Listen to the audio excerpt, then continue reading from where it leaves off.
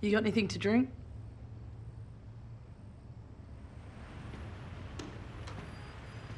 Yeah, bourbon. That's what I call when I go cruising in the suburbs.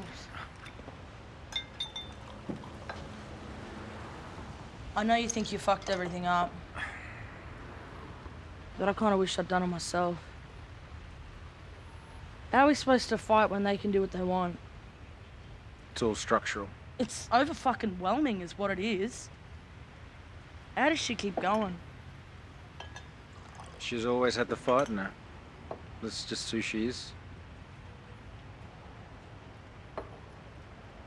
I was never as brave as she was. I always had to think things through, wait for things to be perfect.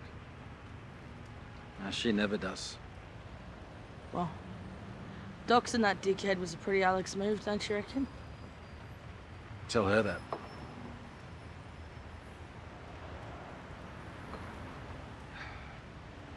Pretty shit way to run the country, isn't it?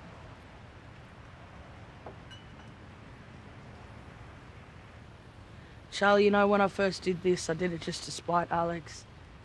But I just friggin' love her now. She is brave, eh? You're right, Bruce. You know, you look like Black Clark Kent. Black Superman.